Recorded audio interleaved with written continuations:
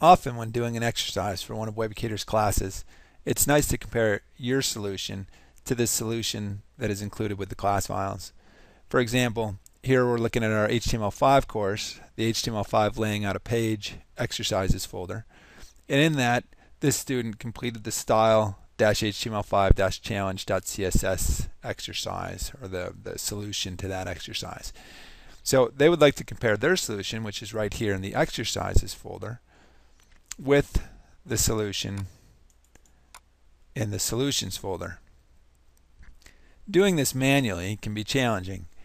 So one thing that's useful is to get a tool that's called a diffing tool, or it's a, a, tool that compares one file with another. And there's a great one called kdiff that's free. kdiff3 here. And the URL is sourceforge.net slash projects slash kdiff3. And on this page, you'll see there's a download. You click on download, it downloads the exe file, which is the installer, and then you just run the installer, and it will load this into a kdiff3 folder in your program files directory. Then you'll have this kdiff3.exe, and you just open it up, and it prompts you for the files you want. Usually you'll just use an A and a B file. The A is the base file, and the B is the file you're comparing it to.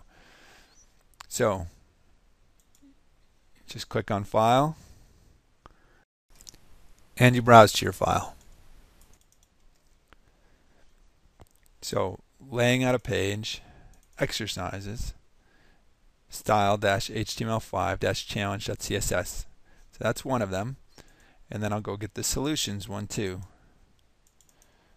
HTML5-challenge.css. There it is. And then I just click OK and it shows what's the same and what's different and what's different is marked by these green and blue markers you can scroll down and see how the difference is you can also see that in the nav pound main nav the width on the left side is set to 630 pixels that's in the exercise one the exercises folder and on the right side that same width is set to 1030 pixels that's in the solution that came with the class files so this student, if they want to match the solution, would need to modify that.